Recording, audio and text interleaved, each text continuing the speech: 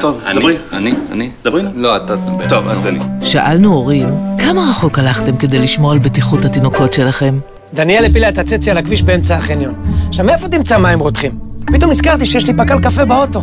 אז חיממתי את צצי על גזייה עם פינג'אן באמצע התנועה של הקניון. כשניל התחיל לעמוד, הוא כל הזמן נופל אחורה ודופק את הראש.